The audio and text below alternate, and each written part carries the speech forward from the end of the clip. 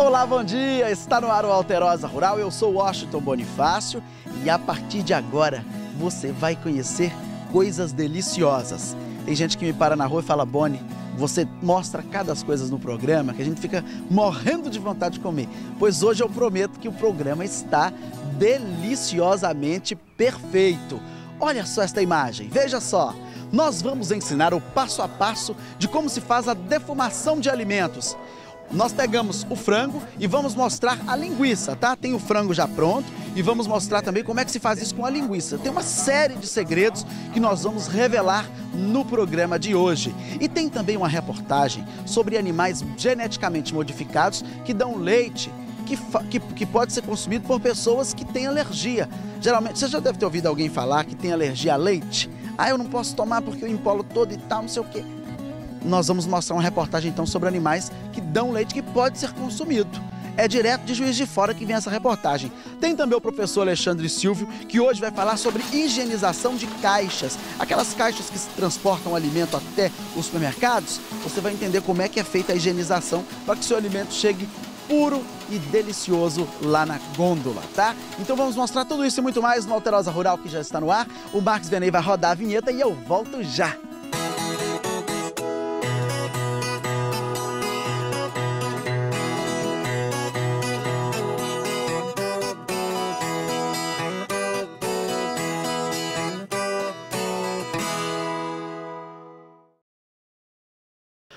Oh, beleza! O nosso programa está imperdível e eu te peço para continuar com a gente. Eu e o Alex Zeller fomos lá em Periquito mostrar a produção de linguiça lá. Os moradores começaram a produzir alguns, alguns alimentos lá, linguiça, frango, né? E aí eles pensaram, vamos defumar? Vamos defumar. Chamaram o curso do Sindicato Rural lá da região, também ministrado pelo Senar, com parceria do Sindicato Rural, para aprender como é que se faz a defumação é uma coisa impressionante, gente. Eu nunca tinha visto fazer.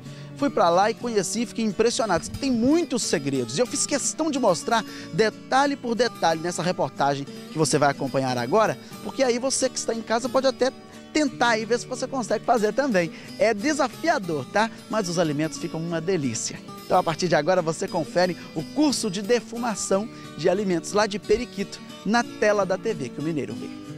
11 alunos e 11 sonhos. Parece até nome de novela, mas é uma história bem real. Estes são produtores rurais de Periquito que vieram em busca de qualificação. A Marilda quer aprender a defumar porque precisa melhorar a renda, já que está desempregada. Já faço queijo, faço queijo recheado e quero aproveitar essa oportunidade no momento estou desempregada e agregar conhecimentos. A Nilza se aposentou recentemente, mas quer produzir no campo para vender na loja que tem em Ipatinga. Então o que, que eu resolvi? Aproveitar do meu sítio e tirar de lá o que eu posso. Então vamos lá. Vejam estes frangos. Cada um foi feito por um aluno. Depois de embalado, o alimento tem que receber o selo com datas de fabricação e validade e a temperatura em que ele deve ser mantido. Para chegar neste ponto aqui, é feito um processo primeiro de tempero de 24 horas mais 24 horas, ou seja, o tempero é feito dividido ao meio e esse tempero é passado a primeira etapa, 24 horas, passar a segunda etapa. É, após as 48 horas, a gente vai fazer o envoltório. E neste envoltório é, vai ser ensacado, e no caso aqui a gente usamos o papel manteiga, e vai ser defumado por 4 horas. O término dos quatro, das 4 horas, ele vai ser desensacado e vai ficar por mais duas horas. O processo de defumação é bem parecido no caso de vários outros alimentos. O que muda é o tempo de permanência no defumador. Os alunos aprenderam o procedimento com a linguiça. Vamos mostrar. A primeira coisa a se fazer é ter o defumador. Ele é feito com tambores. No caso destes aqui, foi o Ricardo e o outro aluno, amigo dele, que fizeram. Eles conseguiram a doação do material com a Fundação Senibra. Primeiramente a gente recebe né, é, do Senar uma, uma, instrução, ela vem detalhada como é que se confecciona e aí a gente vai é, buscar o material e nós mesmos associados, pegou as pessoas que já têm um pouco de prática com solda e com corte de material, nós confeccionamos e fizemos é, os defumadores em casa mesmo. Deu muito trabalho? Não muito, talvez porque é o primeiro, né? O negócio tem vários macetes Fazer o fogo durar 4 horas é uma tarefa que também requer estratégia. O pó de serra misturado com água é o segredo. Ele é colocado nesta lata com o cano PVC no meio e depois o cano é retirado e fica esse buraco. É por ele que vão subir o vapor e a fumaça. O fogo tem que trincar o lado de dentro. Esta é a prova de que ele não vai apagar.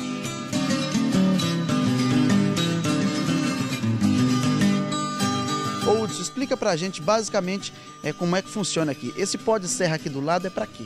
Justamente esse, pó de serra para poder vedar a entrada de oxigênio. O fogo ele precisa de três elementos para sobreviver. É a ignição, que foi feita ali com o, o, o lança-chamas, o oxigênio e a combustão. Se cortar um desses três elementos, ele vai abaixar e vai apagar. Essa, essa vedação que a gente fizemos aqui com o pó da serragem, é para a gente manter a regulagem da temperatura dentro do tambor. Então necessita colocar aqui por causa do, do é, motivo do, do o chão está irregular. Então vai entrar oxi, oxigênio e a temperatura vai elevar. Lá vem a parte de cima do defumador com as linguiças.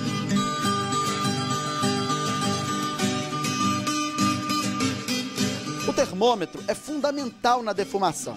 A temperatura deve chegar até 75 graus. Depois disso, tem que contar 4 horas e estará tudo pronto e defumado. Aí, se ultrapassar esse 75, tem que até de 75 até 80 é tolerável. Por exemplo, se o termômetro parou ali em 76, 77 até 80, é tolerável. Não pode ultrapassar 80 e não pode ficar abaixo de 75, porque senão prejudica o pré-cozimento. Pré e se ultrapassar esse, esse limite que você falou, aí tem que mexer aqui na, na boca. Sim. Aí ultrapassou os 80, a gente vem aqui e veda a parte externa. Essa vedação ela vai abaixar a temperatura. De acordo com a baixando, a gente vai abrindo até ele ficar controlado. Quando ele controlou, ele vai cortar o período do dia todo a 75 graus.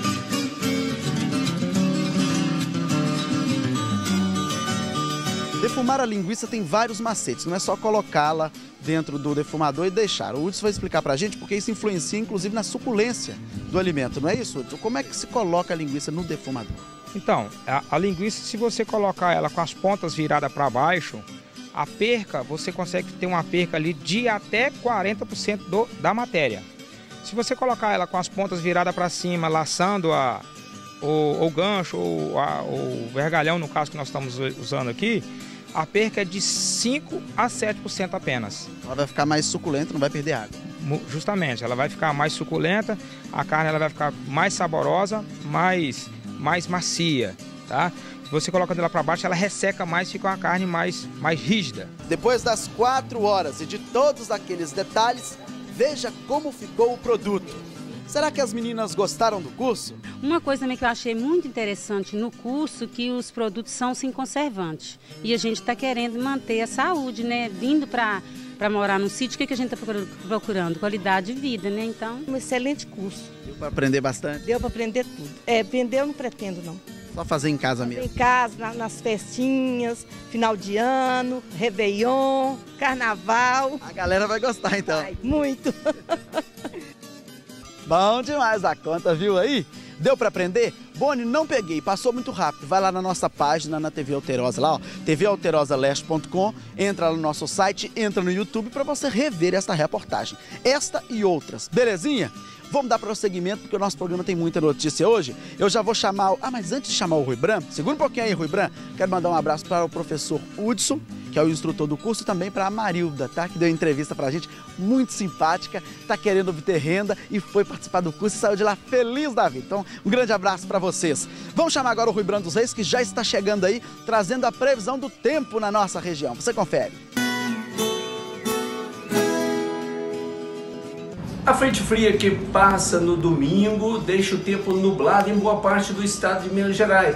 Há possibilidade de chuviscos em alguns municípios do sul de Minas, zona da mata e no Vale do Rio Doce no domingo e na segunda-feira. O sistema frontal entra em dissipação a partir de terça-feira, mas vai deixar o tempo bastante nublado na próxima semana devido à presença da nebulosidade temperatura máxima um pouco mais baixa. A mínima não há previsão de queda acentuada das temperaturas mínimas durante a semana. Então vamos ter mais dias com sol entre nuvens a partir de terça-feira.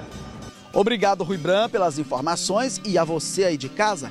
Depois do nosso intervalo, a gente vai mostrar uma reportagem sobre os animais modificados geneticamente que permitem com que a pessoa que tem alergia ao leite possa consumir o leite dado por esse animal aí. Bacana, né?